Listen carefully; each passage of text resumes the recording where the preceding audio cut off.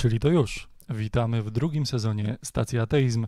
Nowe studio, e, nie nowi prowadzący, ale będą. Leszek Nowak, witam serdecznie. Ze mną w studiu jest Karol Fiałkowski z Fundacji. Do tego jeszcze wrócimy. Witam, Witam wszystkich. Witamy wszystkich. E, po, promujemy pozytywny ateizm, rozdział Kościoła od państwa. Z, e, Wspieramy zdyskryminowanych ateistów oraz prowadzimy dialog na temat wiary. Możecie dzisiaj do nas dzwonić. Jesteśmy na żywo. Podaję numer 71 723 0575. Jest on na ekranie tutaj na dole. Mamy dla Was otwartych 5 linii, także dzwońcie. Tam jest nasz człowiek i, i sobie dzisiaj porozmawiamy. Jesteśmy ogromnie ciekawi, w co wierzycie i dlaczego. Do telefonów za chwileczkę przejdziemy. Mamy kilka ważnych spraw na początek. Pierwsza sprawa. Pizza Ateizm, 16 listopada, godzina 19, pizzeria Graciarnia. Więcej info na Facebooku, jeszcze będziemy o tym przypominać, także śledźcie nasze info. Ale to jest pierwsza Pizza Ateizm w nowym sezonie, więc już zapraszamy. Już zapraszamy oczywiście, 16 listopada, godzina 19. Jeszcze do tego wrócimy. Dlaczego na stole nie było o tym? Też za sekundkę. Na, na ten moment chciałbym wspomnieć o tym, że jesteśmy w nowym studiu we Wrocławiu, w innej lokalizacji, to wszystko by się nie udało. Te wszystkie sprzęty, te kamery i te grafiki, które widzicie i nadajemy teraz w HD 1080 i tak dalej, i tak dalej, to wszystko by się nie udało, gdyby nie odzew po filmie, który wrzuciliśmy w trakcie wakacji, a propos tego, że są potrzeby finansowe i potrzebujemy wsparcia zewnętrznego. Potem przyszedł do nas bezdomny, dał nam to wszystko i zmarł. Także udało nam się ruszyć z drugim sezonem, ale no na ten moment e, jesteśmy oczywiście otwarci na dalsze wsparcie, gdyż są bieżące opłaty, bieżące sprawy i bieżące technikalia. E, także dzisiaj dochodzi nowy link do opisu, do naszego portalu, do naszej strony na Tip and Donation, na którym możecie wspierać stację ateizmu w dalszym ciągu, do czego oczywiście gorąco zapraszamy.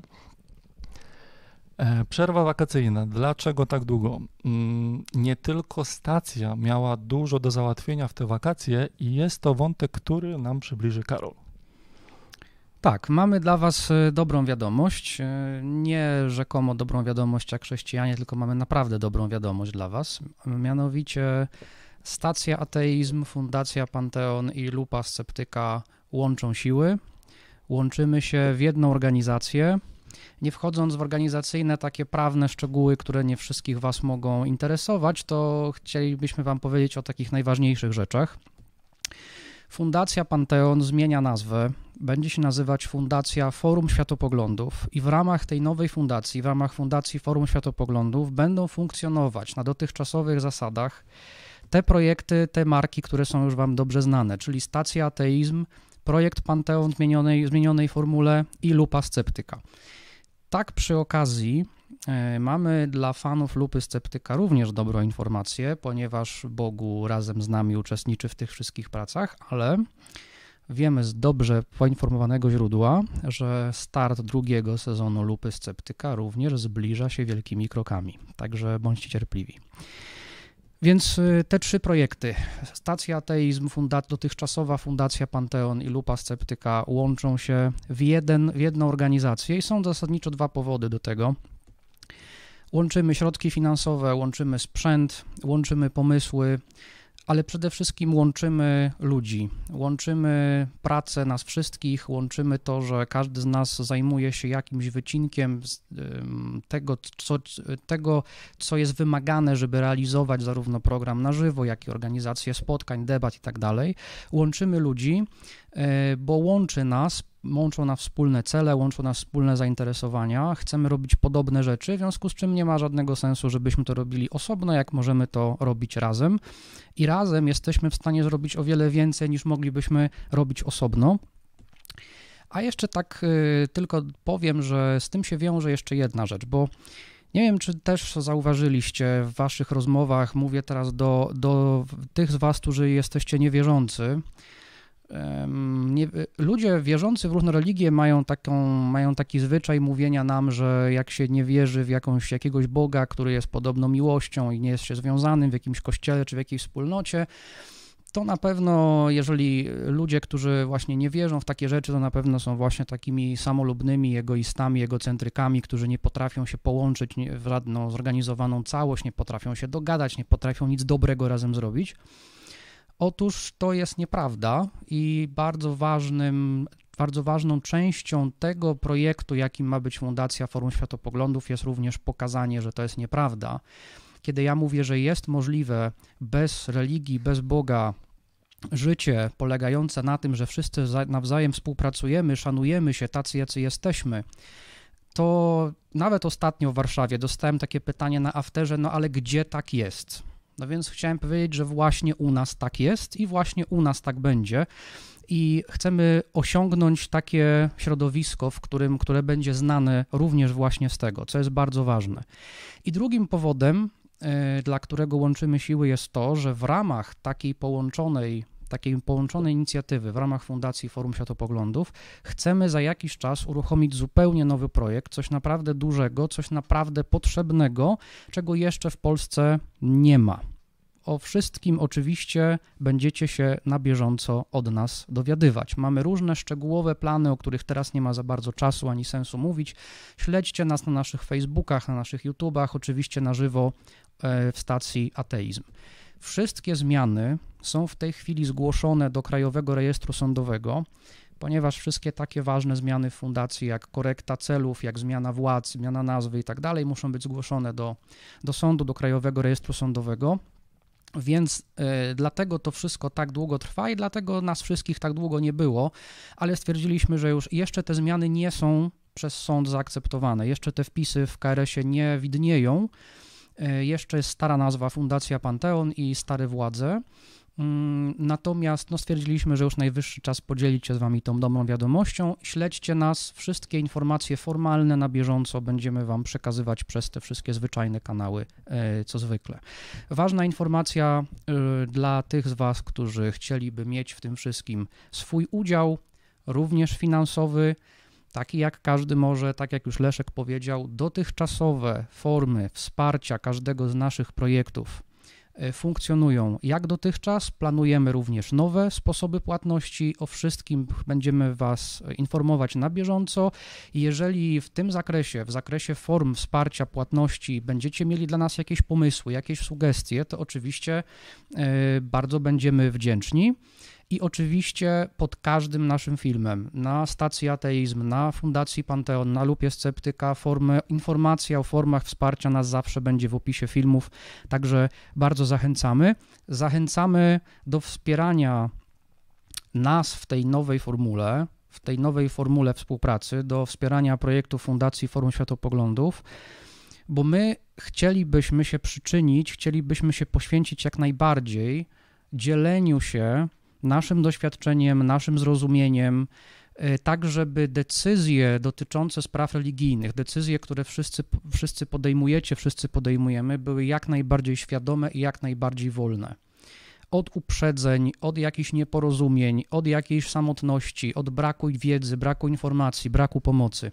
A wiecie sami, że decyzje w sprawach religijnych wpływają bardzo na całą resztę naszego życia. I bardzo jest potrzebna, dopiero zaczynamy, jesteśmy u progu tej wielkiej przygody i bardzo jest potrzebna każda Wasza pomoc, również finansowa. I tutaj chociażby chciałbym wspomnieć o tym, że oczywiście z tym bezdomnym to był żart z mojej strony. Bardzo wielu z Was do nas odezwało się zaraz, zaraz po publikacji naszej prośby o wsparcie. Było dużo wsparcia, dziękujemy za każdy z nich. Chciałbym osobno podziękować panu Adamowi, bo to naprawdę nam pomogło przy, przy tym remoncie, nie? Dzięki śliczne. Mm, do tej pory nie było w Polsce takiego środowiska zorganizowanego. To jest bardzo ważne. Przechodzimy z takiego poziomu grupy znajomych, która gdzieś tam na YouTubie się ogląda, przechodzimy na, na poziom zorganizowania. Mamy organizację pozarządową, mamy fundację.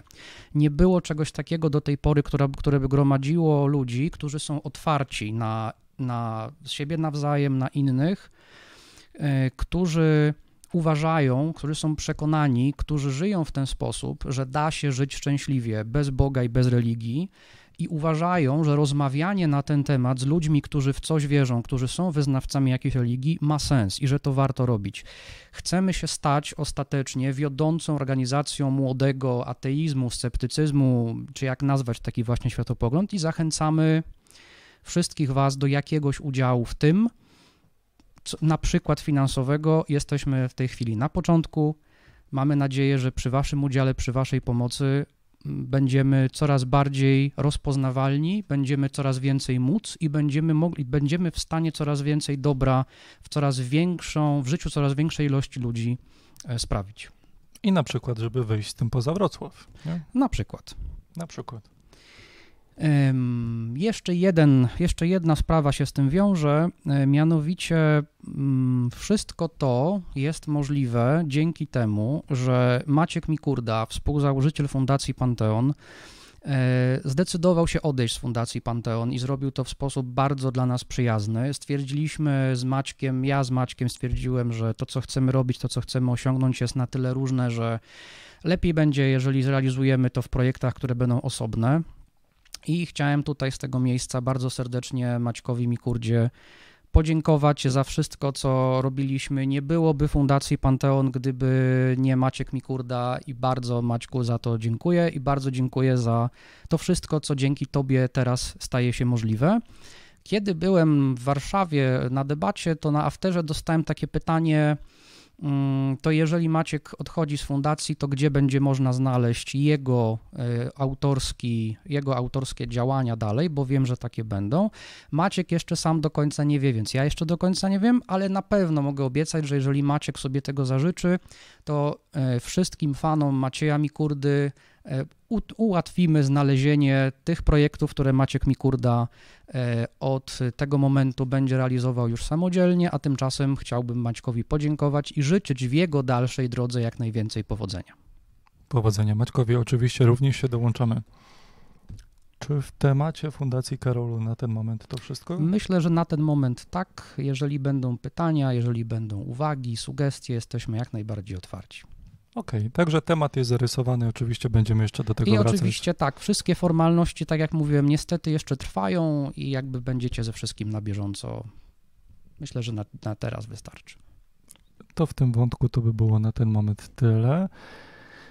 I teraz przez wakacje dużo rzeczy się działo oczywiście na YouTubie i nie tylko na YouTubie. Jedna sytuacja na YouTubie poruszyła nas bardzo. Chcielibyśmy dzisiaj się do niej odnieść. Mm, pan Łukasz Wybrańczyk z kanału Śmiem Wątpić. Nie, nie wszystkich nas poruszyła bardzo.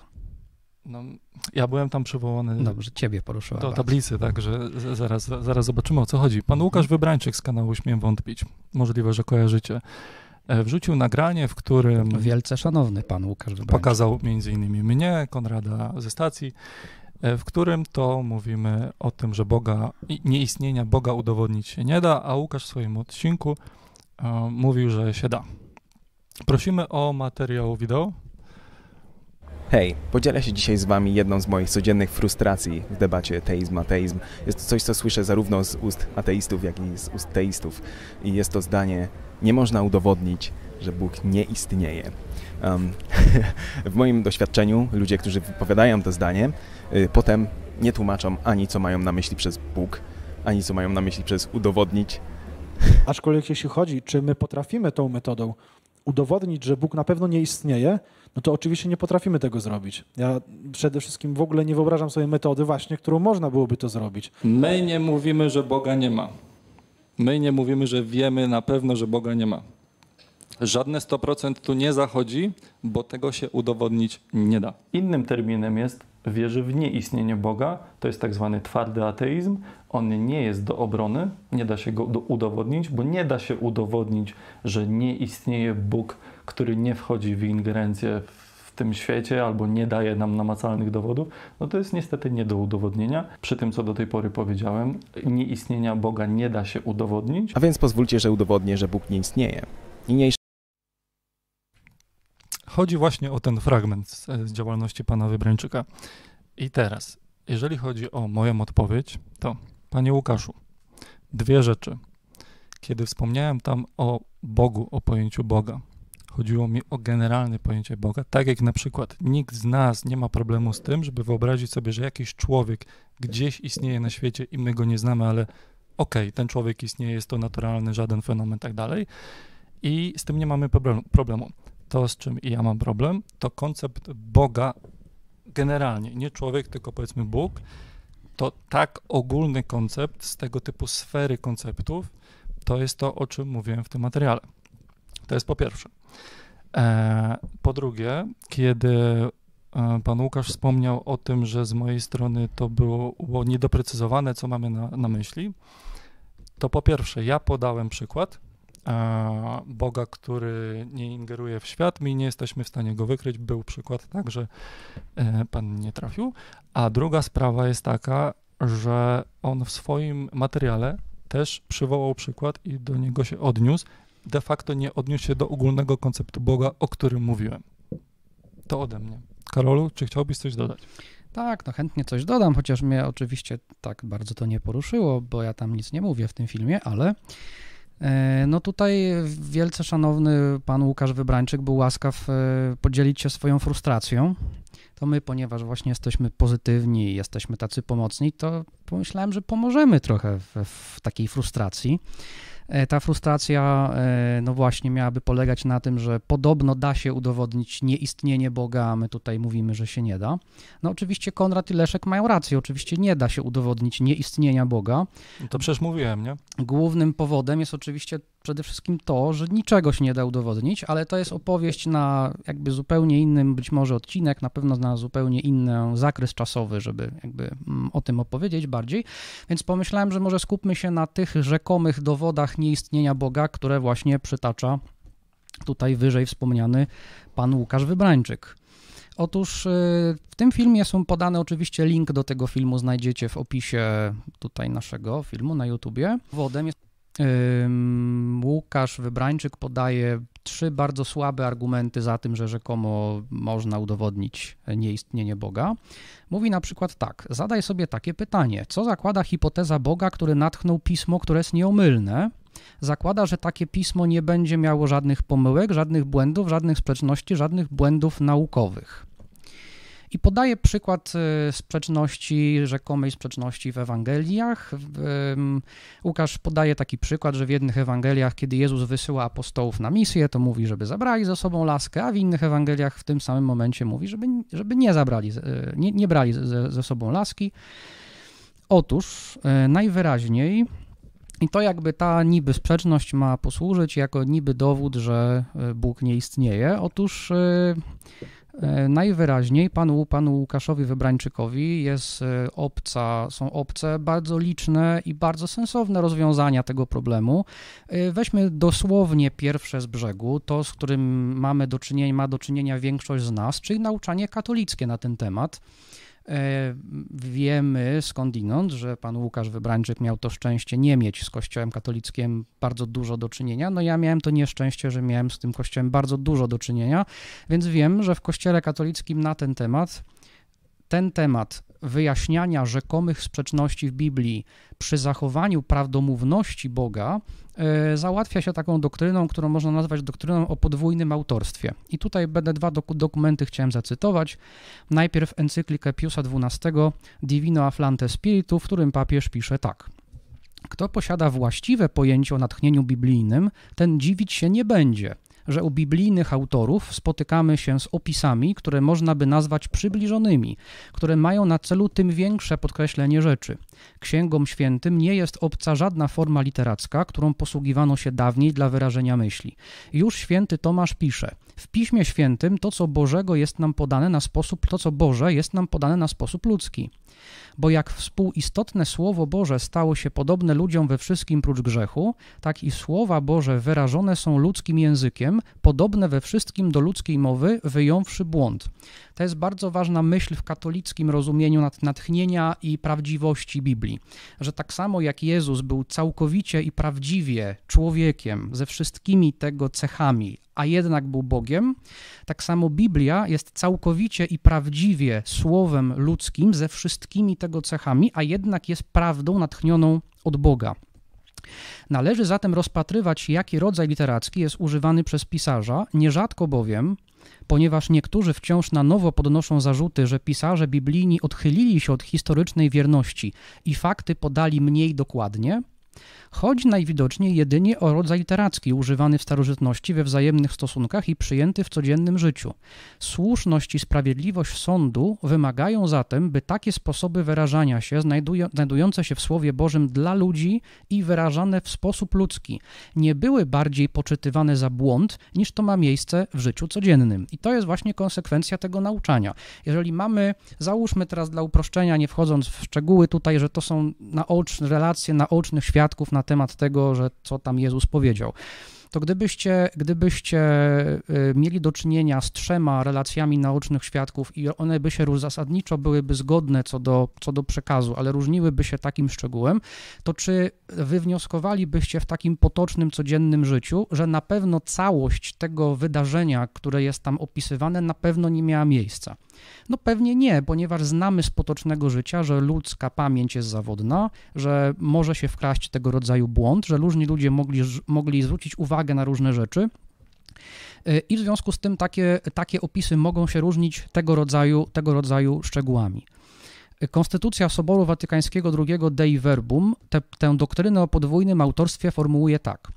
Prawdy w Piśmie Świętym Boga mają za autora, jeden autor.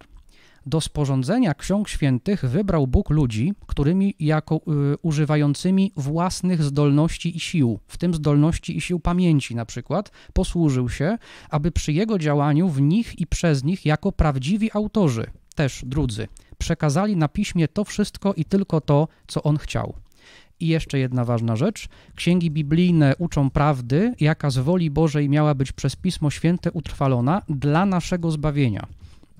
Ponieważ Bóg w Piśmie Świętym przemawiał do ludzi na sposób ludzki, komentator Pisma Świętego, chcąc poznać, co on zamierzał nam oznajmić, powinien uważnie badać, co autorzy ludzcy w rzeczywistości chcieli wyrazić i co Bogu spodobało się słowami ujawnić. Powinien zwrócić należytą uwagę na owe naturalne sposoby myślenia, mówienia i opowiadania, przyjęte w czasach ludzkiego autora. Tu jest ważna bardzo sprawa. Tutaj e, zarówno konstytucja Dei Verbum jak i inne źródła katolickie cytują 2 Tymoteusza, trzeci rozdział, że pismo przez Boga natchnione jest i teraz do czego? Nie do tego, żeby było fotograficznym E, słowo w słowo e, relacją tego, co się stało, żeby było obra fotograficznym obrazem, żeby było na pewno dokładnie relacją co do słowa, co do, co do chwili, co do minuty, co do szczegółu tego, co się wydarzyło i, i, i dlaczego nie, bo to przekracza zwyczajne ludzkie zdolności, zwyczajne ludzkie siły i zdolności, którymi właśnie decydował posłużyć się Bóg. Pismo jest pożyteczne do pouczania, do przekonywania, do napominania, do kształcenia w sprawiedliwości. A zatem nie wszystko, co tam jest napisane, jest e, ważne dla naszego zbawienia. Nie wszystko zdecydował Bóg, że jest, że jest istotnym takim szczegółem, i w tych szczegółach, które są nieistotne, widać te ludzkie siły i zdolności, które Bóg akceptuje, którymi się posłużył. Zgodnie z tym wszystkim, czy Jezus polecił apostołom, jakich wysyłał na misję, czy polecił, żeby szli z laską, czy bez laski. Czy to jest istotny szczegół dla, ważny dla naszego zbawienia? No, żadną miarą, w ogóle nie. No, sens tych fragmentów, jeżeli sobie poczytacie we wszystkich trzech Ewangeliach synoptycznych te fragmenty, które y, Łukasz Wybrańczyk tam przekazuje, no to jest jasne, że o co Jezusowi chodzi, że misja apostołów jest pilna i żeby nie zabierali niczego, co by ich rozpraszało, co by ich zatrzymywało. Y, I Bóg w ramach tego mógł spokojnie dopuścić słabość, jakąś słabość perspektywy czy pamięci autorów Ewangelii i to w absolutnie niczym nie zaprzecza jego prawdomówności. jeszcze jedna taka ważna myśl mi się wydaje z Dei Verbum, która, którą też warto pamiętać, kiedy bardzo łatwo się przesądza, że o, mam jakąś rzekomą sprzeczność w Biblii i to znaczy, że Bóg nie istnieje albo coś takiego. Dei Verbum pisze tak. Ponieważ Pismo Święte powinno być czytane i interpretowane w tym samym duchu, w jakim zostało napisane, należy celem wydobycia właściwego sensu świętych tekstów niemniej uważnie także uwzględnić treść i jedność całej Biblii, mając na oku żywą tradycję całego Kościoła oraz analogię wiary. Albowiem wszystko to, co dotyczy sposobu interpretowania Pisma Świętego, podlega ostatecznie sądowi Kościoła, który ma od Boga polecenie i posłannictwo strzeżenia i wyjaśniania Słowa Bożego. Ja wiem, że w tym, co teraz powiem i w tym, co przeczytałem, troszkę o coś innego chodzi, ale chciałem, wam, chciałem was zachęcić, żebyście sobie wyobrazili takie jakby proces powstawania Biblii.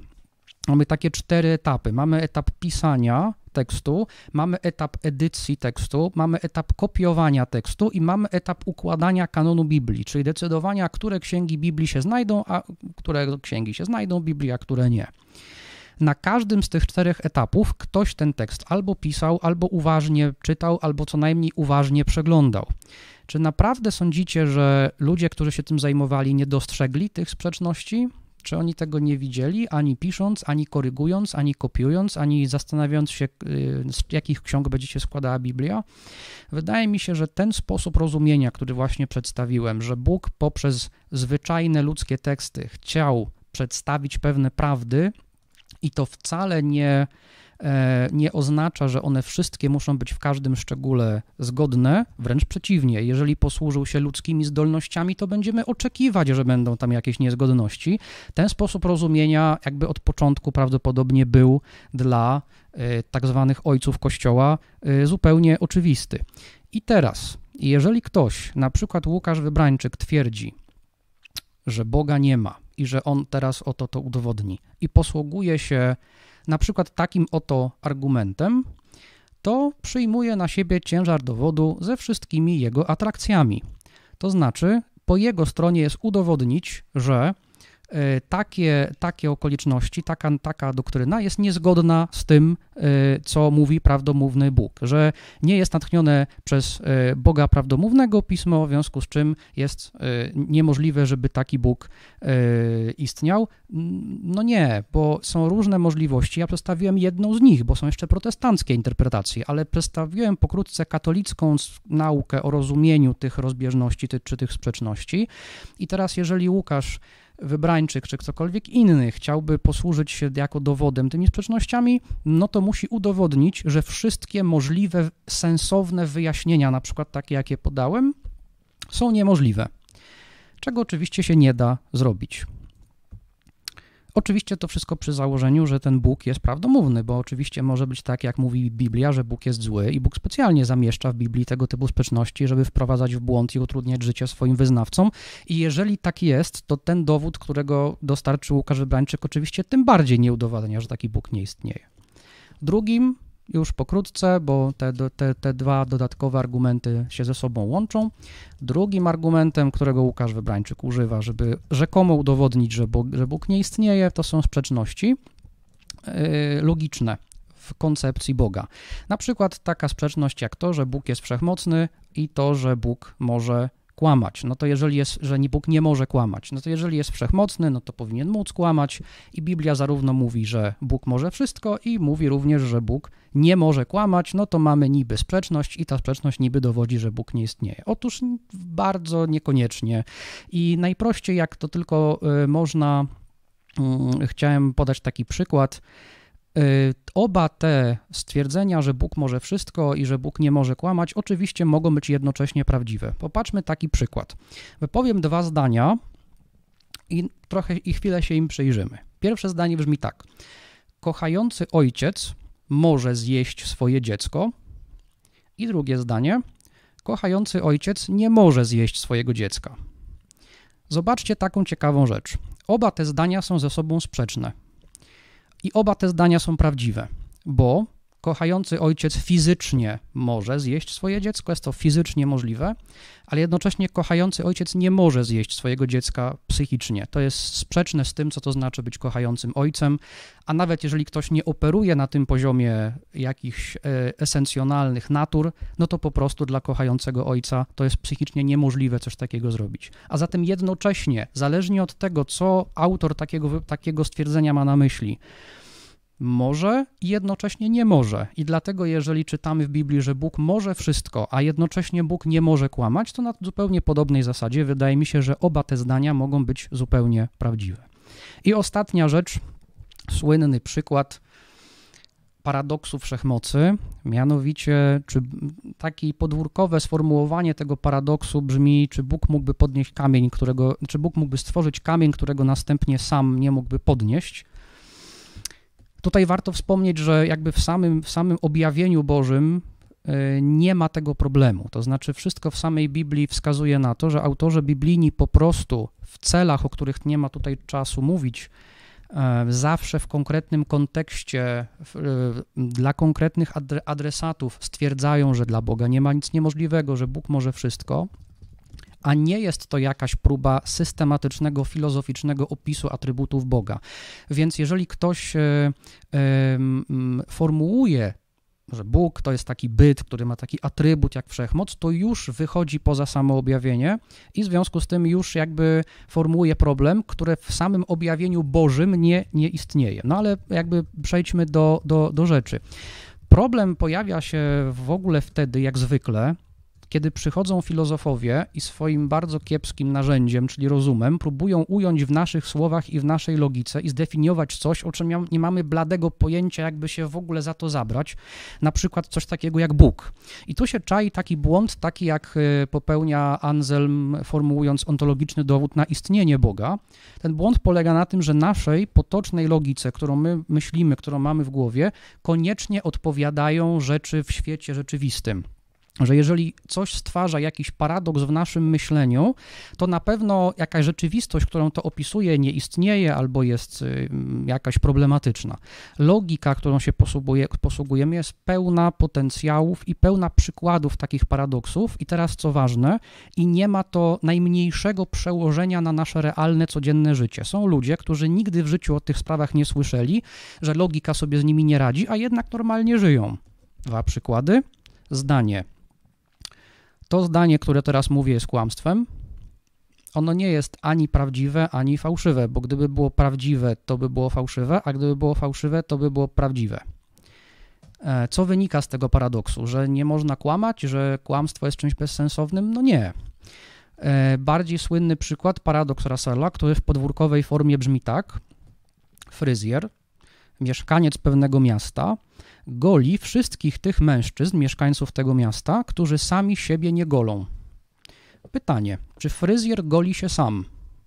Bo jeżeli goli się sam, to nie goli się sam, a jeżeli nie goli się sam, to goli się sam. Polecam na YouTubie przewinięcie i posłuchanie albo znalezienie w internecie. No i co wynika z tego paradoksu? Czy z tego wynika, że fryzjerzy nie istnieją, czy z tego wynika, że golenie się nie istnieje? No nie. Być może z tego wynika po prostu, że nasz język i nasza logika są po prostu narzędziami do opisu rzeczywistości, nie są perfekcyjnymi i nie są perfekcyjnymi narzędziami, żeby tę rzeczywistość odwzorowywać. W naszej logice, w naszym myśleniu i to warto też, jeżeli ktoś się interesuje dwudziestowieczną zwłaszcza i dwudziestopierwowieczną logiką, matematyką, to wie, że w naszej dwuwartościowej, potocznej, zdroworozsądkowej logice jest bardzo duży potencjał tego typu paradoksów i właśnie ludzie, którzy się tym fachowo zajmują, nie bardzo wiedzą, co z tego wynika i czy w ogóle cokolwiek a nasz świat i nasze życie jest sobie takie, jakie jest, pomimo tych wszystkich paradoksów, które mamy w głowie, a nie w świecie. I dokładnie tak samo może być z Bogiem, i dokładnie tak samo może być z, naszym, z jego atrybutami. Więc oczywiście Łukasz Wybrańczyk się myli, że jest możliwe udowodnienie nieistnienia Boga, sam wspomina, że żeby argument był w ogóle ważny, to jest oczywiście prawda, to musi spełniać generalnie dwa warunki. Wnioskowanie musi być poprawne pod względem formalnym, to jest oczywiście prawda, ale również przesłanki muszą być trafne pod względem merytorycznym. I ten sposób, który Łukasz Wybrańczyk zaprezentował, on absolutnie nikogo, niczego nie dowodzi. Być może dowodzi tylko takiej rzeczy, że oczekuje, żeby tak nieokreślone, niepojęte, trudne, potencjalne, ewentualne rzeczywistości jak Bóg mogły się na dzień dzisiejszy zmieścić w tym sposobie myślenia i w tej logice, którą Łukasz na dzień dzisiejszy zna i reprezentuje. Że, yy, że ten Bóg się ewentualnie zamknie w tym sposobie myślenia i w tej wiedzy o logice, którą Łukasz ma na dzisiaj, no i takie coś zakładając, no wydaje mu się, że to, co na dzisiaj mówi, to są jakieś dowody na, na nieistnienie Boga. Nic podobnego. Postarałem się przy, e, pokazać, że w każdym z argumentów, które Łukasz Wybrańczyk podaje, są sensowne, alternatywne wyjaśnienia. Może być zupełnie inaczej. Nie mówimy, że jest, ale niekoniecznie, ale może. I dopóki Łukasz Wybrańczyk nie udowodni, że nie może, pamiętajmy, ciężar dowodu jest cały czas po jego stronie. Dopóki Łukasz Wybrańczyk nie wykluczy, konkluzywnie nie wykluczy sensownych, wszystkich sensownych rozwiązań problemu, o których, problemów, które on wskazuje, to niczego Łukasz Wybrańczyk nie udowodnił. Więc panie Łukaszu Wybrańczyk, jeśli pan jest sfrustrowany, to ja ze swojej strony doradzam spokojnie. Frustracja generalnie bierze się stąd, kiedy ktoś się zabiera takim bardzo kiepskim narzędziem, jakim jest nasz, nasz rozum, do rozumienia tak bardzo skomplikowanych, trudnych, trudno pojmowalnych rzeczy. Frustracja generalnie się zawsze bierze stąd, że jak, jak się coś twierdzi, bo jak się coś twierdzi, to się bierze na siebie ciężar dowodu ze wszystkimi tego konsekwencjami. To już przestaje wystarczać, że mi się wydaje, że to, co teraz mówię, jest dowodem. I zastanawiam się tylko po co. Ja ze swojej strony, jak zwykle, doradzam nie przejmować się takimi rzeczami jak nieistnienie Boga, cieszyć się życiem i wtedy takie frustracje nie będą szanownego Pana spotykać. I tutaj postawmy kropkę, lecimy szybciutko do telefonów. Mamy w tym momencie jeszcze, widzę, kilka linii otwartych. Zaraz już porozmawiamy sobie z Szymonem. Jesteśmy bardzo ciekawi, jak tam minęły u Was wakacje. Czy ktoś zmienił ateizm na wiarę, czy wiarę na ateizm, y, czy coś tego typu miało miejsce u Was. Generalnie, co tam, jak tam u Was. A tymczasem prosimy o połączenie. E, dzwoni do nas Szymon z Gołdapi. Halo, halo, słyszymy się? Dobry wieczór. Dobry wieczór. Cześć tego... Szymon. Cześć Szymon, tutaj Leszek i Karol, jesteś na wizji. Z tego co widzę, chciałbyś pogadać właśnie o niemożliwości udowodnienia istnienia Boga, zgadza się? Zgadza się, dokładnie tak. No mhm. to słuchamy. Yy, yy, więc tak, yy, może najpierw chłopaków zapytam, was, czym dla was jest Bóg? Bóg jest na przykład dla mnie e, intelektem poza materią, czasem i przestrzenią, która, tym intelekt, który ma moc sprawczą odnośnie życia ludzkiego, które wszyscy prowadzimy. Tak, w skrócie. E, okej, okay, mhm. dobra. Tylko, tylko powiem, e, Szymonie, może... jeżeli, jeżeli mogę, tak, bo ja się jakby nie podpisuję pod okay. tą definicją oczywiście. Dla mnie Bóg nie jest niczym, bo ja nie myślę o Bogu. Bóg jest dla mnie zawsze mhm. tym, co zechce zdefiniować osoba, która do mnie o nim rozmawia, tak? Czyli na przykład, jeżeli rozmawiam z chrześcijaninem, to rozmawiamy o jego Bogu. Jak rozmawiamy o Bogu, którego miał na myśli Łukasz Wybrańczyk, to rozmawiam o Bogu, którego miał na myśli Łukasz Wybrańczyk i tak dalej. Dla mnie definiowanie i zastanawianie się, czym Bóg jest, nie jest do niczego niczego potrzebne. Zawsze warto okay. dopytać, no. Dobra. Dobra, to definicja. Definicja Boga ogólnie to jest y, z Wikipedii istota, nad, istota nadprzyrodzona, tak? I teraz, y, czy Bóg może być y, nieskończony? Może być, tak?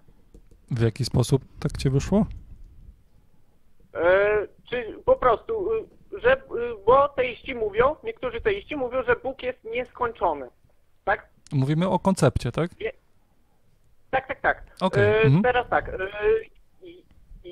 teraz, skoro jest nieskończony, to, to pojawia się liczba nieskończoność.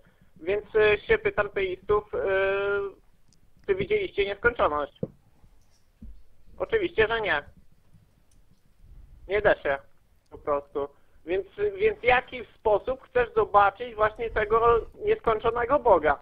Ale poczekaj, poczekaj. Na matematyce, już chyba na poziomie edukacji przedmaturalnej, jest o tym, że jak liczby rosną do góry, to w pewnym momencie te liczby się właśnie nie kończą, tylko rosną w nieskończoność na poziomie konceptu liczb dokładnie, matematycznych. Dokładnie tak. tak ale, tak, tak. ale to, że ja nie widziałem tej nieskończoności liczb, nie dowodzi tego, że nie istnieje coś takiego jak koncept nieskończoności liczb matematycznych. No tak, tak, tak, tak, jasne. Mhm.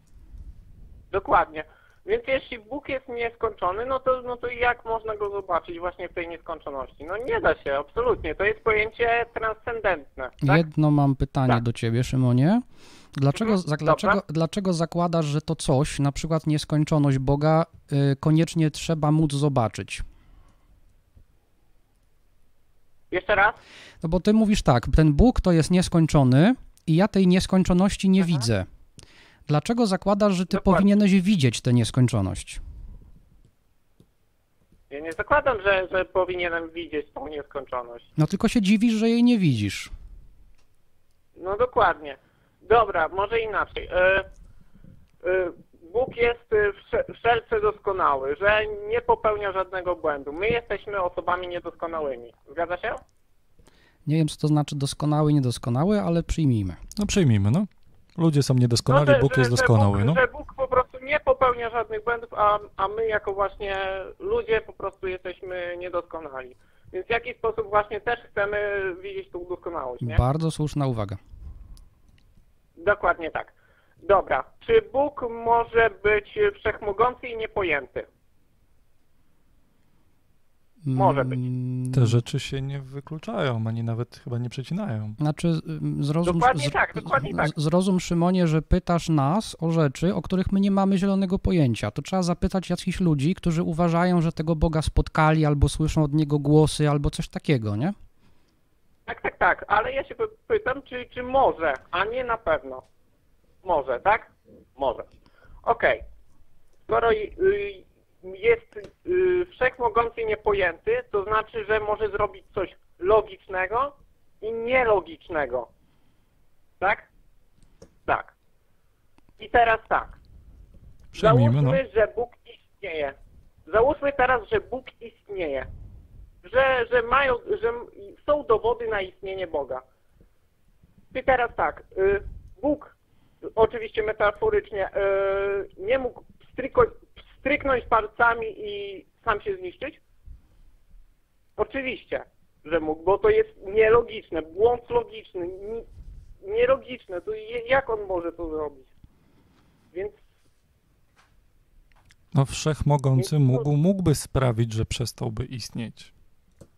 Tak. I wtedy dowody na istnienie Boga lądują w koszu na śmieci. Zgadza się? Nie, nie zgadza się, Szymonie. I jakby Nie, nie, niestety. Dlaczego? Spróbuję ci jeszcze raz pokazać dlaczego. Yy, Ty nas pytasz, czy coś może być, na przykład, czy wszechmoc może oznaczać to albo tamto, prawda?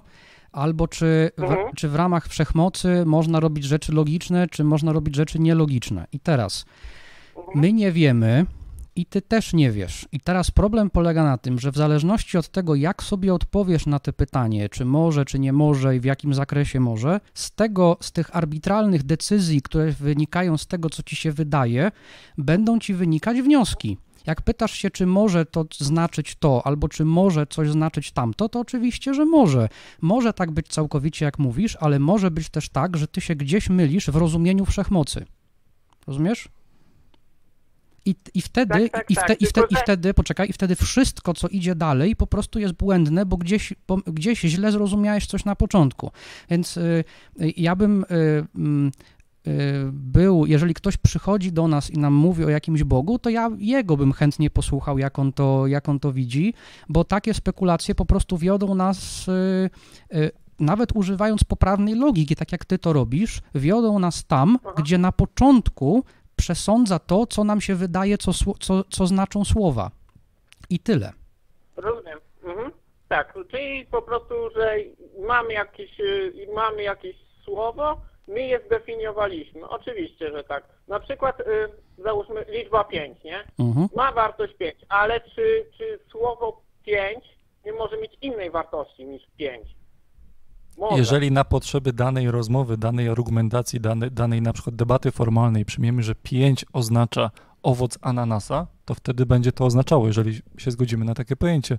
Jeżeli z marszu używamy 5 na ulicy, no to przyjmujemy to, że drugi, drugi człowiek na ulicy zrozumie nas odnośnie ananasa, tak jak wszyscy postrzegamy ananasa. Słowa znaczą dokładnie tyle, na ile się umówimy, że się znaczą w kontekstach, w których ich używamy. Dlatego jeżeli ktoś mówi, że Bóg jest wszechmocny, to zawsze trzeba dopytać tego kogoś, co dokładnie ma na myśli, bo ja ani Leszek nie wiemy, co on dokładnie ma na myśli.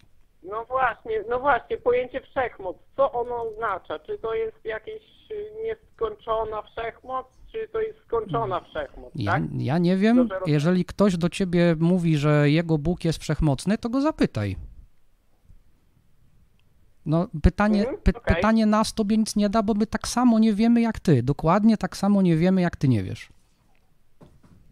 Rozumiem, oczywiście. Muszę przyznać, że chyba jeszcze nie spotkałem się z, z, w debatach i tego typu sytuacjach z teistą, który by argumentował za tym, że wszechmoc Boga jest absolutnie wszechmocna. O wiele częściej spotykam się z tym, że wszechmoc, no to wiecie, to jest taka w zakresie jego możliwości. No i czemu w ogóle mówić na to wszechmoc? Jak wszechmoc, to wszechmoc. Ja mam problem z używaniem tego słowa tak po macoszemu, nie? Ale nie spotkałem Okej, się chyba dobra. jeszcze z tym, żeby ktoś argumentował za totalną wszechmocą, chociażby pojawiają się paradoksy i tak dalej. Dobrze, rozumiem. Ale No, chyba dziękujemy już- oczywiście za spostrzeżenie. Dzięki. Okej, dobrze. Y, y, Chyba już nie będę zawracał więcej czasu. Niech, niech Jeżeli, inni jeżeli, jeżeli Szymonie y, kogoś z wierzących zapytasz, co to znaczy wszechmoc, to koniecznie do nas zadzwoń i się tym podziel, to wtedy będziemy próbować do tego odnosić, ok? Bardzo sami Dobrze, jesteśmy okej. ciekawi. Dobra, okej. Dobra, to do usłyszenia Dzięki, dzięki, do usłyszenia. Dzięki za telefon, bądźmy w kontakcie. Tak, kiedy siadamy i gdybamy hipotetycznie odnośnie argumentacji, która mogłaby zostać użyta do danego konceptu, który sobie hipotetycznie zakładamy na potrzeby naszych rozważań, no to w łatwy sposób możemy ustawić konstrukt, który za chwilę będzie miał paradoks. To jest no, fa- fajne ćwiczenie, oczywiście umysłowe i tak dalej.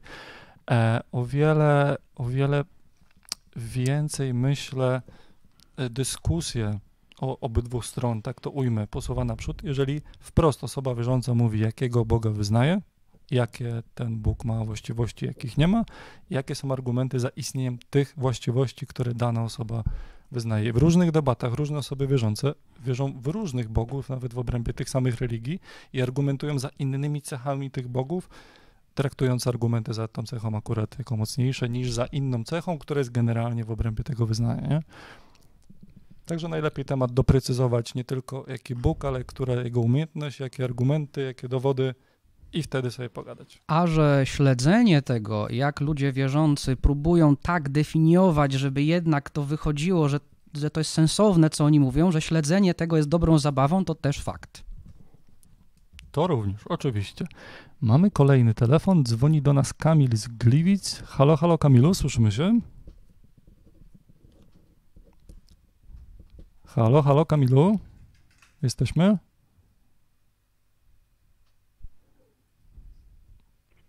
Halo, halo, halo?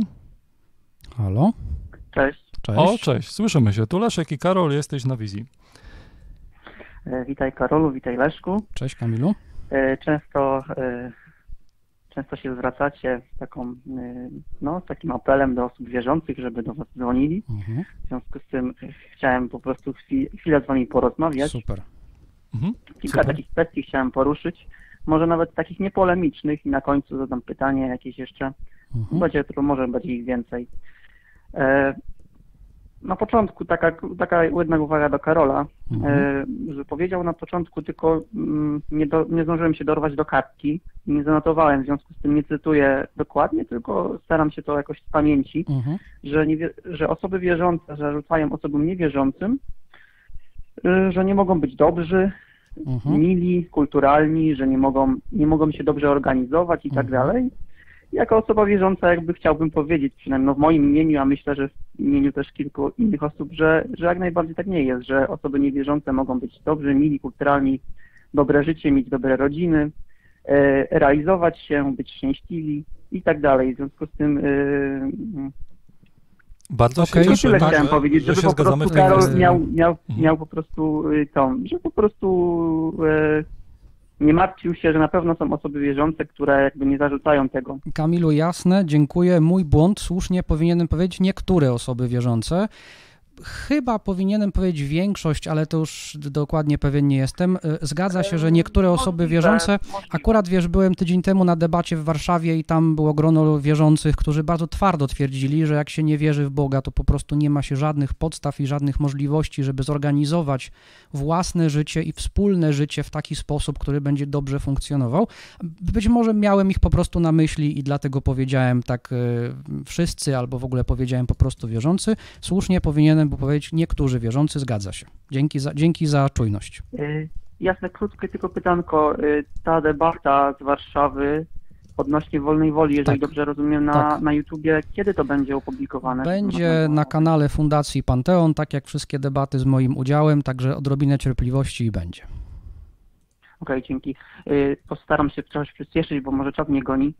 Chciałem powiedzieć, że, no, że też jakby w imieniu na pewno kilku osób szkoda, że Maciej mi kurde odchodzi, że dalej nie będziecie Mhm. współpracować. Jakby już powiedziałeś, jakie są przyczyny tego, znaczy nie wiesz, jak na razie Maciej będzie tam to realizował swoje pomysły, Mhm. natomiast y, czy w, taki, czy w tej sytuacji formuła działania fundacji się zmieni, bo Maciej powiedzmy był taką przeciwwagą dla jakby troszeczkę twoich poglądów i jakby Mhm. funkcjonowaliście w dwójkę. Tak. Teraz nie wiem, będzie jakaś inna osoba, która będzie z nami współpracować, czy to Ym. będziesz robił tam i tak dalej. Jakbyś mógł powiedzieć trochę. Niestety jest tak, jak mówisz, to znaczy Maciek był taką cenną, cenną przeciwwagą dla mnie gdzieś tam po drugiej stronie, no i tak funkcjonowaliśmy, że korygowaliśmy się nawzajem, także jedna osoba z innego światopoglądu myślała o tym, co nie przyszło do głowy innej, no i tego teraz zabraknie. Teraz to się wszystko dzieje dosłownie w ostatnich tygodniach i miesiącach, w związku z czym y, być może tak będzie. Na pewno, jeśli chodzi o być może taka osoba się znajdzie, Ym, Chciałbym, żeby taka osoba się znalazła, jeżeli to jest w ogóle możliwe. Na razie to, co na pewno mogę na dzisiaj powiedzieć, to jest to, że na tym kanale, który dzisiaj się nazywa Fundacja Panteon, dalej będą się pojawiały takie rzeczy, które mają za zadanie nawiązanie rozmowy i dialogu z wierzącymi, czyli będą wywiady, będą debaty, będą tam się pojawiać moje albo nie tylko moje.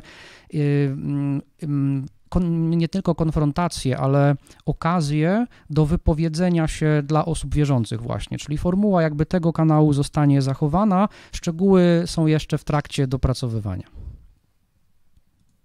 Mhm, Dobra, jasne, niezrozumiałe. Nie wiem, czy mogę jeszcze jakieś jedno pytanie, czy, czy to już Jasne, myślę, że jeszcze jedno pytanko zdążymy. Mhm. E, dobra, w takim razie musicie tutaj jakby, jeżeli, jeżeli za dużo zapytam się, to, to oczywiście nie musicie odpowiadać, a chciałem właśnie się odnieść do, do kwestii tych argumentów Łukasza Wybrańczyka. E, znaczy, może nie, nie odnosić się do jego argumentów, bo jakby tutaj już e, Karol przedstawiłeś polemikę względem Łukasza, natomiast zwróciliście się do Łukasza e, na, na, przez pan. I wydaje mi się, że, że zarówno ty, Leszku, to zrobiłeś, jak i na pewno Karol wiele razy. I się zastanawiam, bo jakby Łukasz występował w studiu jako ekspert, wypowiadał się. Czy rozumiem, czy w tej sytuacji on dalej będzie w, y, jakby u was na stacji, czy, czy w tej chwili jest taki po prostu troszeczkę się no, nie dogadaliście? Bo wydaje Mhm. mi się, że no nie wiem, że są różnice między zdaniami, na przykład, że no Karol jest nihilistą, jesteś, a Mhm. Leszek się nie do końca z tobą zgadza, ale dyskutujecie, nie macie problemu, żeby rozmawiać. Natomiast tutaj z Łukaszem przedstawiliście argumenty za, natomiast e, zastanawiam się, czy on będzie, jakby, czy jest jakiś konflikt, czy, czy, czy może coś na ten temat powiedzieć po prostu. Nie? Sytuacja jest taka. Łukasza formalnie rzecz biorąc w stacji Ateizm w ramach ekipy stacji nigdy nie było. Łukasz ma swój kanał na Śmie Wątpić. E, Dwa razy wystąpił oczywiście u stacji na żywo i były telefony do niego i tak dalej. Mm, Na ten moment, z tego co mogę zdradzić, to nie mamy zaplanowanego Łukasza w stacji, gościnnie tak jak do tej pory. E, oczywiście czas pokaże, nie mówimy nie. Na ten moment chcieliśmy się odnieść do materiału, który zaprezentował na swoim kanale w trakcie, kiedy stacji nie było. Em, Przepraszam, i była to rychła potrzeba z naszej strony, że jak tylko wrócimy na wizję, żeby się do tego odnieść, no bo e, i Łukasz, i, i stacja, i, i Karol, jakby wszyscy działamy w jednym ruchu, w jednym środowisku i jeżeli gdzieś byliśmy przywołani do tablicy, no to warto by się odnieść, nie? Zobaczymy, jaka będzie odpowiedź. Nie mówimy nie. Jasne, jasne. Dobra, to ja będę kończył, chyba że, chyba, że wam coś zostawić jeszcze już na, na rozmowę, że ja już się rozłączę. Czy mogę jeszcze się odnieść? Widzę, że Jedną dzisiaj rzecz jest, jest absolutnie urwanie telefonów. Mamy teraz chyba cztery osoby w kolejce. Aha, to nie, to Także nie ma spróbujemy jeszcze odebrać kilka, nie? Mhm. Mhm. Dzięki śliczne No za to- telefon. Dzięki Kamilu, Dzięki. dzwoń do nas następnymi razami. No, cześć, trzymajcie się. Dzięki, cześć. Trzymaj się. Tak jak już wspominaliśmy, e, śledźcie informacje na, na stacji, na fundacji, na Lupie Sceptyka. Tam będziemy dalsze rzeczy odnośnie nowo powstałej kombinacji fundacji wyrzucać. E, tutaj już sobie ustawię kolejny telefon. Okej, to za chwileczkę już będziemy mieli telefon. E, e, No, telefon się bardzo urywa. Fajnie, że odpaliliśmy w końcu te technologię na pięć linii telefonicznych, bo wcześniej jak mieliśmy dwa telefony, to były zajęte na okrągło i ktoś trzeci nawet nie był w stanie, nie był w stanie w kolejce stanąć. A, a teraz widzimy, e, co się dzieje i bardzo, bardzo to cieszy, że stacja ma coraz większe zasięgi. Z tego, co widzę, mamy telefony nie tylko z Polski, Spróbujemy się dzisiaj połączyć również z zagranicą. Oczywiście wszystko, cała informacja zwrotna również w zakresie technicznym od Was jest dla nas bardzo cenna. Mówcie, jak nas słychać, mówcie, czy słychać jak nas, nas głośniej. widać, jak nas słychać, jak, jak e, wygląda sprawa z e, łatwością do dzwonienia się. Wszystkie takie rzeczy nas bardzo interesują. Czy stream przycina, czy stream nie przycina. Wszystko, wszystko piszcie, bo no, no my, my w tym momencie nie jesteśmy w stanie tego Mhm. zauważyć. Nie? Siedzimy po prostu przed kamerą w studiu i przy sprzętach. E, już telefonik zaraz nam tu wskoczy. Jeszcze chwilkę.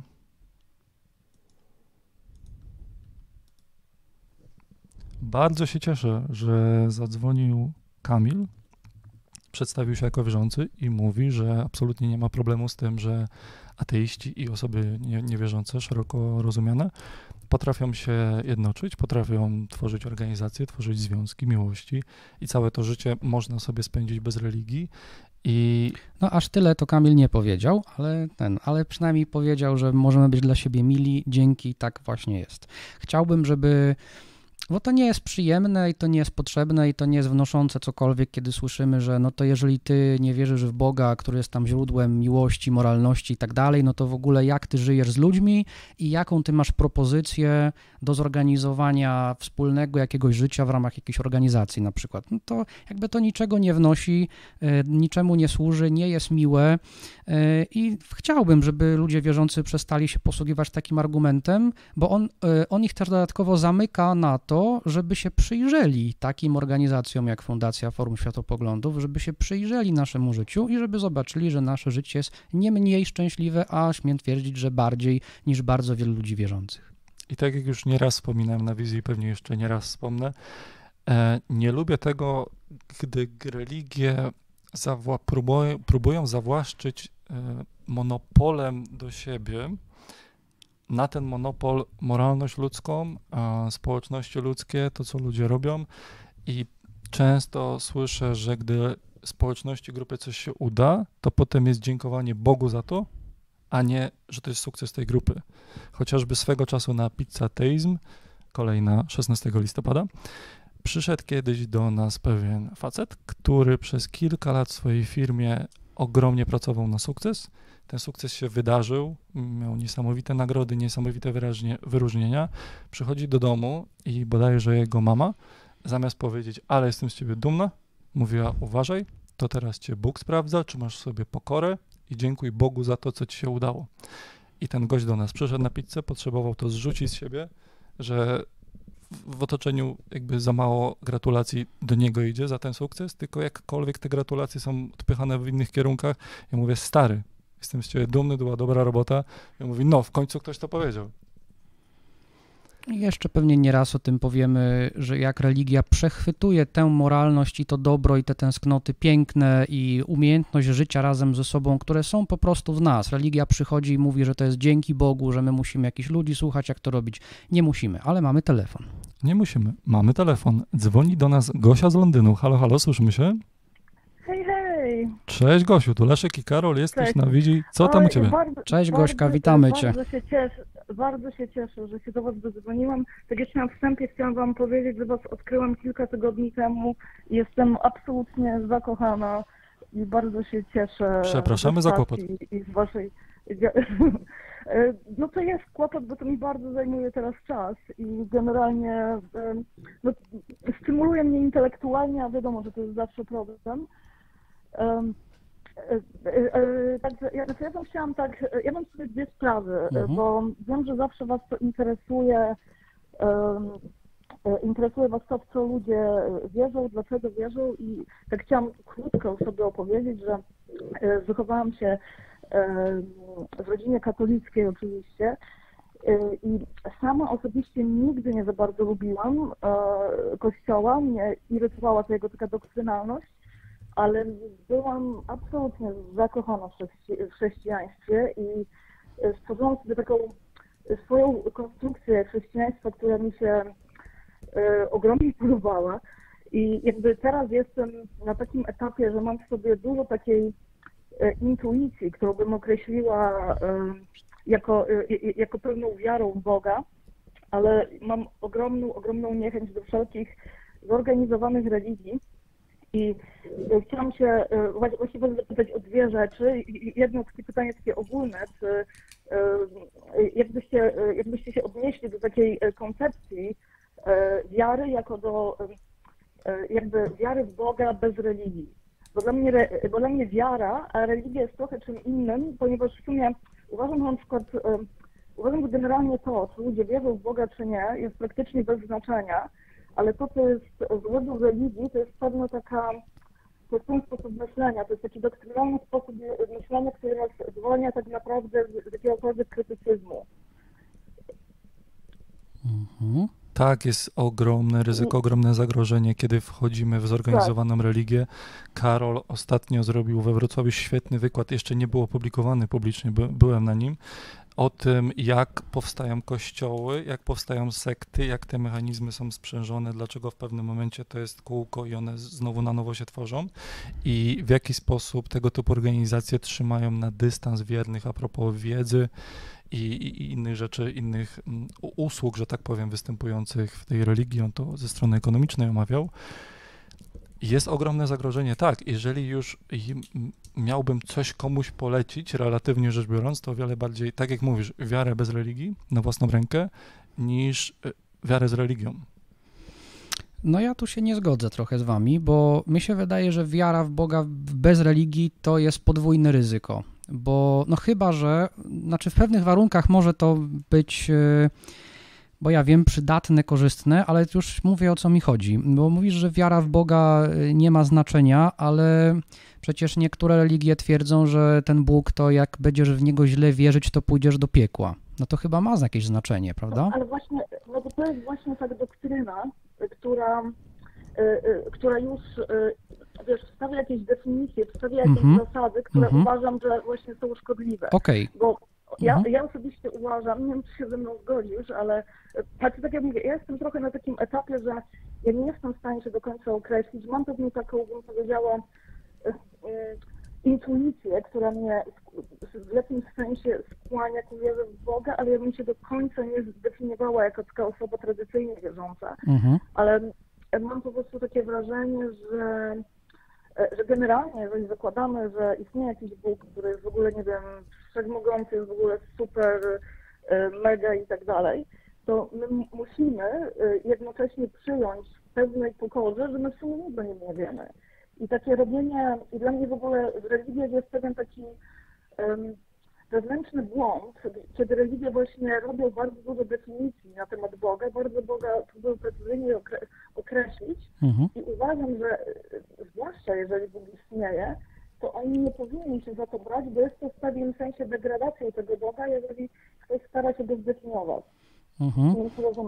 Yy, tak, roz, wydaje mi się, że rozumiem i mam do ciebie takie, takie pytanie w związku z tym, ale tylko jeszcze chciałem wtrącić pomiędzy, że moje doświadczenia z ludźmi, którzy zwykle to są ludzie, którzy uważają, że są członkami Kościoła katolickiego, ale formułują swoje myśli w taki sposób, że jestem katolikiem, ale ja sobie wierzę po swojemu, prawda? Że jakoś tam się buntują wobec tego, jakie jest nau- oficjalne nauczanie tego Kościoła, do którego się przyznają mnie się wydaje, że pójście w tą, tę stronę, to znaczy pójście w stronę jakiejś relacji z jakimś Bogiem, którego ja sobie wyobrażam w mojej intuicji, to jest dopiero zwolnienie z krytycyzmu. Ponieważ w ten sposób pozbawiasz się jakiegokolwiek zewnętrznego kryterium weryfikacji, czy to, co Twoja intuicja ci podpowiada, to czy ma jakiś związek z rzeczywistością. Udział w, tak, no u, właśnie, udział to w takiej. Mhm. Udział w takiej religii przynajmniej konfrontuje cię z czymś, przynajmniej konfrontuje cię z myślami, z intuicjami innych osób, o których nie wiesz, czy one są bardziej czy mniej wartościowe od twoich, może są akurat bardziej wartościowe. I w związku z tym y, nie musi tak być, ale może tak być. I teraz y, y, uprawiając religię samodzielnie, ty się pozbawiasz w ogóle tej możliwości, pozbawiasz się w ogóle tej szansy. I w związku z tym chciałbym Ciebie zapytać, czy naprawdę uważasz, że jeżeli Bóg istnieje, to rozumowanie i intuicje organizacji, która od 2000 lat formułuje e, przy pomocy intuicji, przy pomocy mistycyzmu, przy pomocy filozofii, przy pomocy teologii, przy pomocy pism, tradycji, hierarchii, autorytetów itd., tak że to wszystko jest na pewno mniej warte, jeśli chodzi o poznanie Boga, niż to, co ty sobie dzisiaj żyjąca myślisz w twojej intuicji? A jeżeli myślisz, że twoja intuicja jest więcej warta niż to wszystko, co wymieniłem, to na jakiej podstawie? E, znaczy, rozumiem, to masz, masz do pewnego stopnia rację, bo zgadzam się z Tobą, że moje własne spostrzeżenia muszę w jakiś sposób zweryfikować. Dlatego tak jak mówię, że ja teraz jestem trochę na takim etapie transformacji i nie wiem do końca, gdzie on mnie zaprowadzi, bo jest dla mnie bardzo, bardzo dużo niezgoda na zorganizowaną religię i, i ja, ja absolutnie się w niej nie widzę. Może nie trafiłaś na taką zorganizowaną religię, która ci się spodoba. A może jest taka gdzieś, która odpowiada twoim intuicjom, może też taka gdzieś jest jest to możliwe. Moją sugestię na pewno znasz. Ja ci polecam w ogóle dać sobie spokój z tymi tematami, ale jeżeli jest to dla ciebie tak zajmujące i tak męczące, być może, bo my mamy rzeczywiście taki problem na przykład w Polsce, że myślimy religia, znaczy to mówimy Kościół katolicki, tak, że to jest jakoś tak dla nas domyślne, a w ogóle mówimy chrześcijaństwo, prawda? No ale są przecież różne inne propozycje, jak mieszkasz w Londynie, to masz je na, w zasięgu ręki i być może jest tak. tak, być może jest tak, że ktoś w jakiejś zorganizowanej religii właśnie doszedł do takich wniosków jak ty. Przecież tak może być. My po prostu, żyjąc tutaj, czy żyjąc w Londynie, czy wywodząc, pochodząc z Polski, y, bardzo często też y, spotykam się z tym, że ludzie się dają złapać w taką pułapkę, że skoro Kościół katolicki głosi religię, która jest bez sensu, to Boga nie ma. To jest nieprawda po prostu. To jest jedna z różnych propozycji. Jeżeli ona była dla ciebie jakimś kontekstem i ty się z nią nie zgadzasz, okej, okay, ja ciebie rozumiem, ale być może są jakieś inne. Moim zdaniem najlepszą opcją jest danie sobie z tym w ogóle spokoju, bo to jest naj, daje najwięcej szczęścia, ale być może obraziłaś się na jedną ze zorganizowanych religii, a inna będzie ci bardziej odpowiadać. No, znaczy, powiem Ci, że bardzo doceniam tę sugestię, biorąc pod uwagę, że że jesteś nihilistą i zawsze to bardzo reklamujesz, to e, bardzo doceniam to, że zachęcasz mnie do dalszego dociekania e, tematu.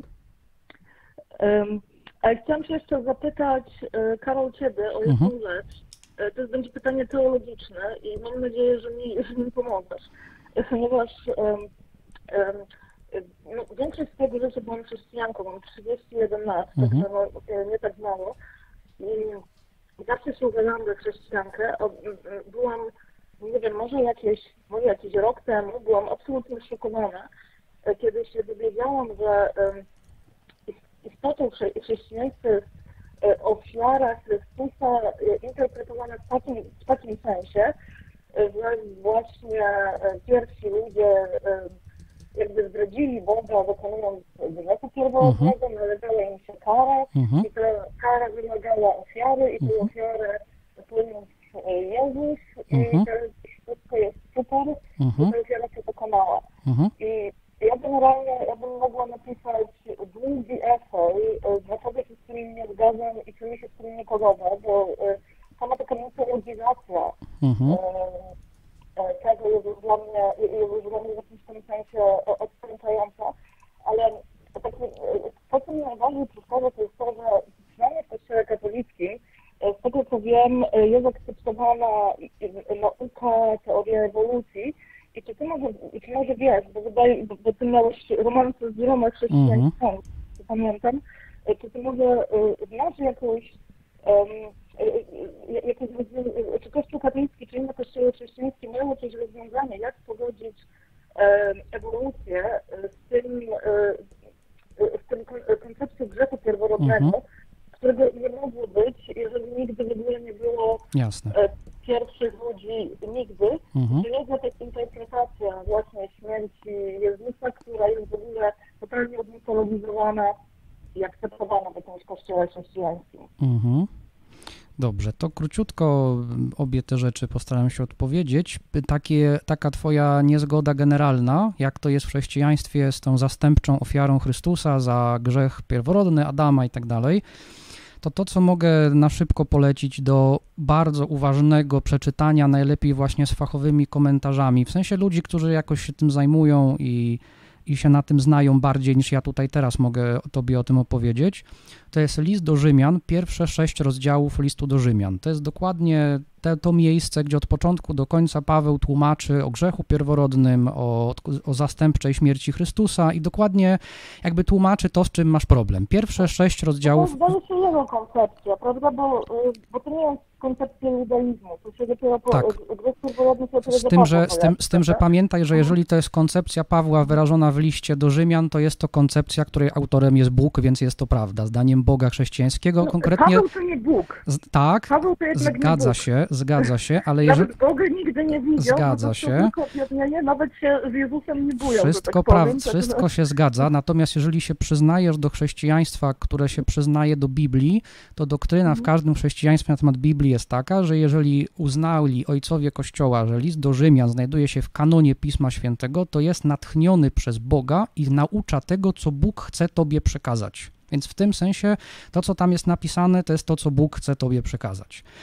Natomiast jeśli chodzi o jak sobie Kościół katolicki radzi, tak, który akceptuje e, możliwość ewolucji z grzechem pierworodnym, skoro nie było historycznego Adama, radzi sobie bardzo prosto, mianowicie uznaje, że pierwsze 11 rozdziałów Księgi Rodzaju to jest mitologia, która, którą nie należy interpretować. Ja przytaczałem na początku fragmenty, na przykład Piusa XII Divino Afflante Spiritu, on tam o tym pisze dokładnie, że należy uwzględnić gatunki literackie interpretacji Biblii. I teraz pierwsze 11 rozdziałów Księgi Rodzaju Kościół katolicki uznał, że nie należy tego interpretować jako zapis historyczny, tylko należy to interpretować jak mit, to znaczy to, co się tam opisuje, nie musiało się dokładnie wydarzyć dosłownie tak, jak się wydarzyło. Ważny jest sens teologiczny, egzystencjalny, antropologiczny tego, co się tam znajduje. Tak. A co No się tak, tam znajduje? Znajduje się tam prawda o tym, że w kondycji człowieka, która jest z natury naszej dziedziczona z człowieka na człowieka,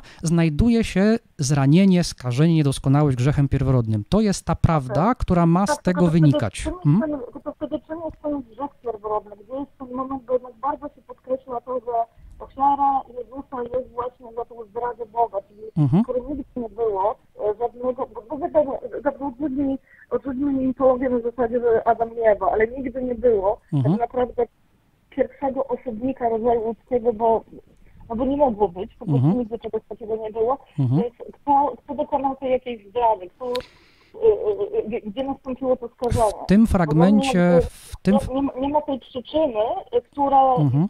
Y, dla której miałaby być potem zrobiona ofiara. To jest cholernie niespójne. W tym fragmencie pytanie, listu do Rzymian, jeszcze tylko odpowiemy, bo czas nas trochę goni. W tym fragmencie listu do Rzymian, pierwsze sześć rozdziałów, zwłaszcza w rozdziale piątym, Paweł bardzo podkreśla, że w grzechu Adama wszyscy zgrzeszyli, czyli Adam zaciągając winę i następnie przekazując to swemu potomstwu, jakby my w ten sposób dziedziczymy przez to winę grzechu pierworodnego. I da się wyobrazić sobie takie uniwersum, w którym nie było tego faktycznego, chociaż jak ewolucja sobie przebiegła tak, jak to opisują biologowie ewolucyjni, to znaczy, że musiał być gdzieś pierwszy człowiek, prawda, gatunku ludzkiego, który coś tam może przeskrobał niezgodnego z planami bożymi, więc to po pierwsze to mogło być tak naprawdę, tylko on tam nie był w Edenie, nie był Adamem i tak dalej, ale historycznie, mógł, chronologicznie ktoś taki mógł być. Ale nawet jeżeli zupełnie usuniemy coś takiego, to chodzi o coś takiego, jakby jeśli chodzi o treść. Treść jest taka, my z natury swojej jesteśmy obciążeni grzechem, wszyscy grzeszymy. I teraz, czy przyczyną tego jest historyczny grzech Adama, czy przyczyną tego jest jakiś defekt w naszym DNA, to jest drugorzędne. W starożytności, jak Bóg mówił do Izraelitów, do Żydów, do ludzi w Nowym Testamencie, to posługiwał się tym językiem i tą mitologią, która dla nich była zrozumiała. My dzisiaj wiemy więcej dzięki nauce, więc możemy powiedzieć, no w naszym kodzie genetycznym na przykład jest coś takiego, w naszym behawiorze, w tym jak się zachowujemy, w naszej naturze biologicznej, jest coś takiego, że mamy skłonność do takich zachowań, które z punktu widzenia Boga są grzechem, więc grzeszymy. I to wystarczy Bogu, żeby znalazł nas, w nas winę, i to wystarczy, żebyśmy potrzebowali Chrystusa jako odkupiciela, i wszystko dalej działa tak, jak należy.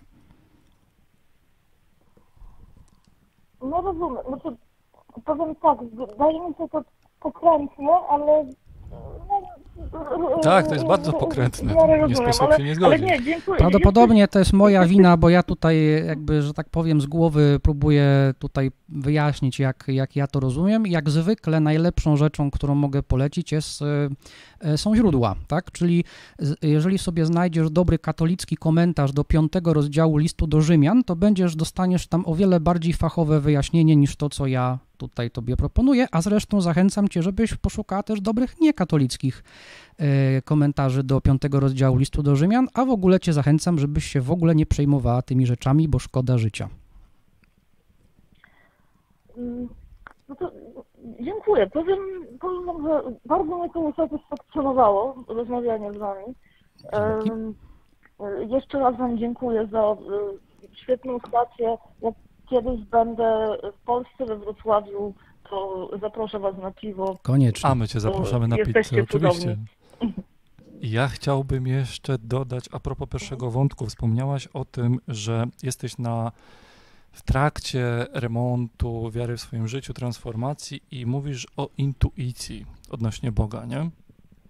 Odnośnie Tak, takiego tak. generalnego poczucia, że Bóg, a nie tego, co religia, doktryny i to już jest tak zbyt skodyfikowane. A propos intuicji, e, przy tym jak Karol zachęca cię do dociekań i odnosi cię na przykład do źródeł, które wymienił, w tych dociekaniach, co ja bym ci polecił? Poleciłbym ci lektury em, naukowe na temat tego, że my rodzimy się jako ludzie z naturalnie wbudowanym właśnie takim intuicyjnym teizmem. To jest bardzo duży wątek, teraz już, już dzisiaj tego nie rozwinę, ale chociażby dwie książki ci polecam.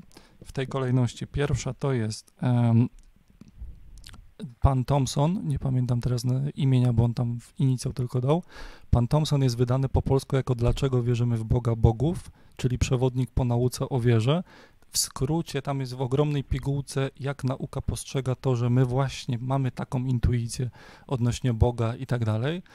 E, A drugie, rozwijające ten wątek o wiele bardziej, to już niestety na polski jeszcze nie było przetłumaczone, to jest książka Michaela Shermera pod tytułem Believing Brain, czyli wierzący y, mózg, odnośnie tego, jak, jak szeroko, jak dogłębnie mamy wbudowane pewne mechanizmy, o których jeszcze nie raz będziemy na stacji mówić, odnośnie wykrywania intencjonalności, e, agencyjności tam, gdzie jej nie ma i tak dalej, i tak dalej. Także te dwie książki bardzo Ci polecam i to zarysowuje świeckie zrozumienie, naukowe zrozumienie tego, dlaczego właśnie mamy to poczucie intuicji odnośnie Boga. Tak, znaczy, ja jestem tak em, ogólnie zaznajomiona z tym tematem, ale chętnie doczytam w książkach, które poleciłeś. Dlatego tak jakby chciałam dodać jeszcze na koniec, że e, uważam, że tak samo jak e, e, ludzie religijni em, mówią, że wiara jest pewną łaską, to jakby em, chciałam też wam powiedzieć, że nie wiara, tylko że jest łaska. Że to jest też pewne silne przekonanie, o nieistnieniu Boga to jest czymś, mówię, jest, pewną łaską i do mnie wasze argumenty zupełnie docierają, ale jakby to nie jest jeszcze coś, co jest za mnie przedstawione na tyle, żebym ja to mogła przyjąć jako swój pogląd. Może to się zmieni, może nie, trudno mi powiedzieć. Jeśli, jeśli, Bóg, Generalnie jestem, generalnie jestem otwarta. jeśli Bóg pozwoli, stacja ateizm będzie istnieć, Fundacja Forum Światopoglądów będzie istnieć, także mamy czas na spokojnie, zapraszamy do korzystania z nas, ile tylko będziesz miała ochotę. No ja na to liczę. Oczywiście i tutaj niestety jesteśmy zmuszeni, patrzę na zegarek, zmu, zmu, zmuszeni zakończyć ten telefon. Dzięki śliczne Gosiu, dzwoń do nas nieraz, wpadaj do Wrocławia, zapraszamy na pizzę, bądźmy w kontakcie, ok? Dzięki. Dzięki, do usłyszenia. Dzięki, śliczne powodzenia w dociekaniach. Na dzisiaj z telefonów niestety już więcej nie odbierzemy. E, dziękujemy ślicznie wszystkim, któ- którzy zaczekali w kolejce. E, z tego co widzę, są- są jeszcze kolejne osoby, ale, ale czas nas goni i, i będziemy niedługo się zwijać. Także za nami jest pierwszy sezon stacji. E, mam tutaj pod ręką kilka liczb. Subskrypcji mamy 5600 z hakiem. Wyświetleń wszystkich odcinków całościowo udało nam się zgromadzić ze 400 tysięcy, co nas bardzo cieszy. E, odcinków było 43. Było kilka pizz, zorganizowanych we Wrocławiu. Niedługo będzie kolejna. E, 19, 16 listopada, godzina 19, pizzeria Graciarnia. Więcej info na Facebooku. Udało nam się być we Warszawie na Dniach Ateizmu 2018. E, Ja spotkałem się w Krakowie z fanami stacji, było to, to bardzo miłe spotkanie. Wciąż mi mało a propos stacji w Polsce, a propos fundacji w Polsce. E, Karol też z debatami jeździ tu i tam. A propos, ostatnio miałeś debatę e, w Warszawie, tu była transmisja na Facebooku, jeszcze to będzie wrzucone na. Będzie na wrzucone Mhm. na kanał Fundacja Panteon oczywiście. I myślę, że wszyscy z nas, którzy oglądaliśmy tę debatę, mamy w głowie jedno pytanie. Karolu, jak tam tablet? Czy wszystko w porządku z nim? Tak, tablet działa, z tabletem jest wszystko w porządku. Tutaj chciałem generalnie korzystając z okazji bardzo serdecznie pozdrowić i Michała Pończuka i pierwszy Kościół Chrześcijan Baptystów w Warszawie za bardzo dobrą organizację wydarzenia, za bardzo miłe przyjęcie. No, chciałem szczególnie pozdrowić Maćka Jankowskiego, który tę debatę prowadził. Prowadził ją znakomicie i mam nadzieję, że jeszcze wiele razy z Maćkiem będę miał okazję współpracować. Też miałem okazję poznać Maćka, to, to bardzo fajnie, że, że udziela się w temacie. Nie? Dziękuję ślicznie za organizację tej debaty. Co jeszcze było? Pytanie A na... jeszcze dodam tylko, ym, dla wszystkich y, fanów stacji ateizmu Fundacji Panteon Lupy Sceptyka z Gdańska dostałem zaproszenie do debaty w Gdańsku, więc jak Bóg pozwoli, to w Gdańsku w najbliższych miesiącach odbędzie się debata z moim udziałem. Śledźcie informacje, oczywiście. Było pytanie na czacie a propos koszulek stacyjnych, koszulek z Karolem, generalnie zakupów. Swego czasu mieliśmy dużo pytań odnośnie kubków stacyjnych, tego typu. E, To jest tak, przy tym ile mieliśmy generalnego technicznego remontu, formalnego organizacyjnego remontu i tak dalej, to jeszcze nie dotarliśmy na, do kolejnej sprawy na liście, czyli odpalenie sklepu. To jest oczywiście na liście. E, tak jak już sezon ruszył, no to myślę, że będziemy mogli bardziej do tego tematu przysiąść, także wyczekujcie, będzie sklep, będą kubki, będą koszulki, będą długopisy i tak dalej. To, to, to wszystko mamy zaplanowane, niedługo będzie. Ehm, teraz, jeżeli będziecie mieli jakiekolwiek informacje a propos tego, jak nas słychać technicznie, e, jak wam się na telefonach z nami rozmawia, na przykład dzwoniący, na przykład słuchający, wszystkie informacje techniczne nam- koniecznie, koniecznie powiedzcie, bo przy tym, jak e, pieniądze od was pozwoliły nam na zmianę generalną sprzętu i teraz widzę, jak, jak dużo mamy nowych tych kabli i tego wszystkiego, na czym się nie znam, to chcemy się upewnić, czy, czy nas dobrze słychać, czy nas dobrze widać. Dajcie znać koniecznie. A propos takich informacji zwrotnych, ja serdecznie dziękuję ekipie za realizację dzisiejszego odcinka. Dziękujemy ekipie technicznej. Dziękujemy ekipie. Dobra robota. Dziękujemy widzom studiu. Dziękujemy. E, dziękujemy ślicznie sponsorom, czyli Wam. Będzie w, pod, ym, pod odcinkiem będzie link do naszego e, serwisu na Tip and Donation. Tam możecie wspierać stację. Jeżeli lubicie takie projekty, to zachęcamy gorąco. Jeżeli zmienimy formę e, wspierania stacji, Albo będą nowe. fundacji, albo będą nowe. Mhm. Będziemy informować na bieżąco. Na ten moment projekty Lupa, Sceptyka, Stacja Teizm i, i projekt Mhm. Panteon e, mają swoje źródła finansowania i my to zbieramy razem do kupy, Mhm. dzielimy się, bo dzielimy się sprzętem i razem działamy generalnie we Wrocławiu, nie? I nie tylko.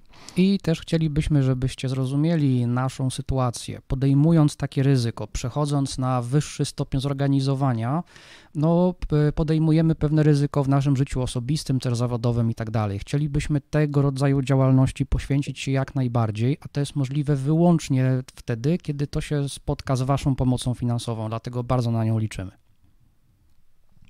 I mam wrażenie, że wspomniany pan Adam, który bardzo stacji pomógł w tym remoncie, dzwonił zaraz na początku odcinka. Nie chciał zaczekać do dobycia na wizji, tylko chciał serdecznie pozdrowić em, ekipę stacji. Także panie Adamie z Katowic, dziękuję ślicznie. Pozdrowienia dotarły. Pozdrawiamy Dziękujemy, również. pozdrawiamy. Życzymy spokojnego wieczoru. E, Standardowo linki na koniec. Śledźcie naszego YouTube, śledźcie naszego Facebooka, śledźcie naszą grupę dyskusyjną widzów Stacji Ateizm na Facebooku. E, Kontakt do nas to kontakt małpa stacja myślnikateizm.pl. Ślijcie tam pytania, uwagi, komentarze, propozycje i tak dalej. E, No i zachęcamy raz jeszcze do, do serwisu Tip and Donation, na którym można em, wspierać stację. Te wszystkie linki znajdziecie w opisie. Dorzucimy również e, linki, które wy, wydarzyły się w trakcie odcinka. Na dzisiaj to wszystko. Kolejna stacja w niedzielę o 18. Dziękuję, Karol. Dziękuję Leszku. Do zobaczenia. Do zobaczenia.